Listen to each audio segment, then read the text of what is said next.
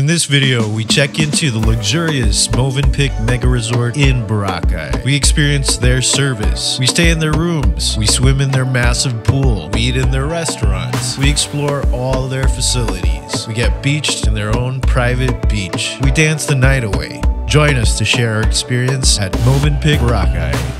Our first night in Boracay was at the Chill Out Hostel, the absolute cheapest place to stay in Boracay. Be sure to watch our review of Chill Out Hostel, link in the description. After our night there, we were quite excited to go to our next hotel, the luxurious Movenpick Resort in Boracay. Movenpick, sir. Alam mo yun? Ah, We rode an e-trike over to the resort. Once we arrived, we were amazed at the actual size of the resort. It sits on a massive 3.4 hectare lot with its own private beach. When we arrived, we were immediately surprised by the service and surroundings of the place. The place really exudes a luxury vibe. Our rooms were not ready yet, so we decided to tour the resort and have some lunch. All the open areas had the most beautiful tropical landscaping. They even had a kids play area slash daycare where you can drop off your tots while go gallivanting around the resort. Then we went swimming in the massive swimming pool. This is the largest pool on the island, measuring in at 3,300 square meters. And of course, we had to order some drinks by the pool. Oh. After drinks, it was time for lunch. For starters, we got the Vietnamese egg rolls. Damien got the crispy chicken fingers from the kids menu. Izzy got the ham and cheese sandwich from the kids menu as well. I got the tonkatsu plate. Krystle got the bibimbap and the tteokbokki. So I'm gonna try tteokbokki. It's really spicy, but I really like it. Whew, it's spicy. I normally eat the instant one, and it, you can tell how the difference is. This one's really good, and they have egg. Overall, I like it. Tteokbokki. And I guess it's sticky rice and some red sauce. Let's give it a try. It's chewy and spicy.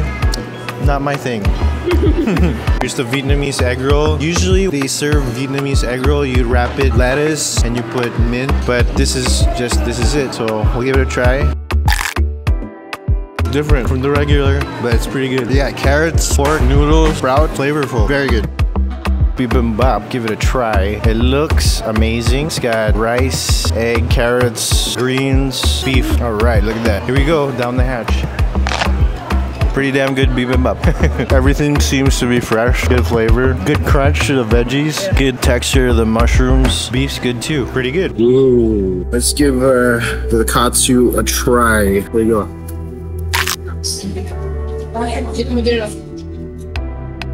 Meaty and juicy. Breading is really good. Pretty fat piece of meat inside. Excellent. Another thing is they have really good serving sizes here. American serving size. Look at that, look at that, look at that.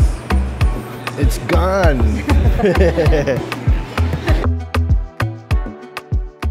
Here's a tour of the rooms that we had. We had two connecting rooms that were perfect for families. The first room had a king size bed with a beautiful bathroom and a balcony. It was a really big room. Here's Izzy riding on a suitcase for scale. The other room was a double room with two double beds, another beautiful shower, and a balcony as well. Both rooms had really big closets with safes and bathrooms. After getting settled in our rooms, we went back to the pool for some more swimming.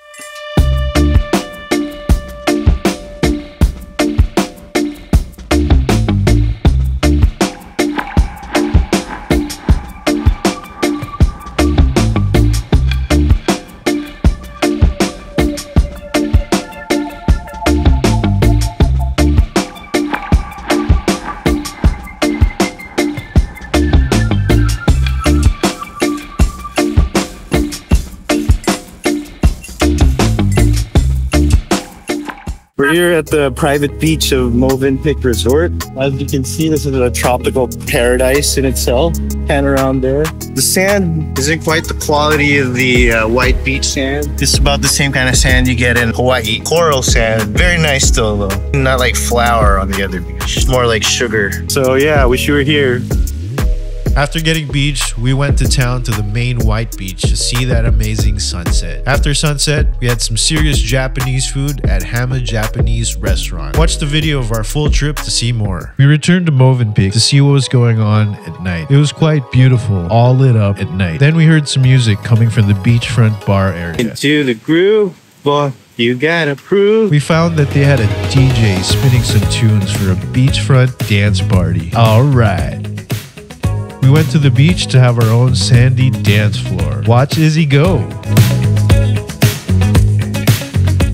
Next morning, we headed to the breakfast buffet. It was quite the spread. They had different cuisines available from the usual waffles and pancakes to Filipino classics, a full salad bar, fresh omelet chef, and a full dessert bar. They even had an espresso machine available. Overall, it was very good. Here's our final thoughts before leaving Movenpick. All right, it is our last day here at Movenpick Resort, and I recommend coming here. If you are not on such a tight budget, definitely spend the extra money because it's worth it. Service here, first of all, was amazing. Every time we were at a restaurant here, the water in my cup was never empty. Somebody put water in it.